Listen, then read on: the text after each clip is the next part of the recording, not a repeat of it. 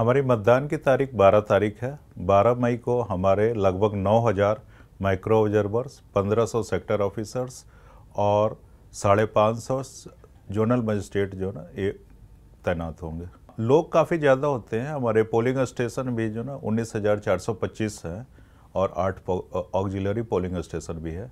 इन लोगों पर मॉनिटरिंग के लिए जो ना, हमने पूरी की पूरी टीम बना रखी है। बल्कि एक एप्लीकेशन भी डेवलप किया है। उस एप्लीकेशन का नाम है पोल मॉनिटर इसके द्वारा जो ना हम पूरी तरह से नज़र रख सकेंगे कि सब जगह काम जो है ना ठीक प्रकार से हो रहा है और सारे डाटा भी हमारे पास आएँगे। इसको मॉनिटर कर पाएँगे हमारे रिटर्निंग ऑफिसर, हमारे डिस्ट्रिक्ट इलेक्शन ऑफिसर, हमारे सीओ ऑफ़िस के लोग, हमारे असिस्टेंट रिटर्निंग ऑफिसर, हमारे ऑब्जर्वर्स। इनको, इनके लिए डिटेल रूप से प्रेजेंटेशन बनाई गई है और इनको ट्रेनिंग दिया जा रहा है। बल्कि एक सुविधा ये भी की गई है कि बाकायदा जो है ना एक वीडियो जो है ना बना करके ट्रेनिंग का वो यूट्यूब के ऊपर भी अपलोड किया गया है, जो कि राजीव रंजन सी हरियाणा के यूट्यूब चैनल के ऊपर उपलब्ध है। कोई भी उसमें से देख सकता है कि उनकी ट्रेनिंग में अगर भूल भी जाए तो दोबारा देख सकता है कि किस तरीके से उनको काम करना।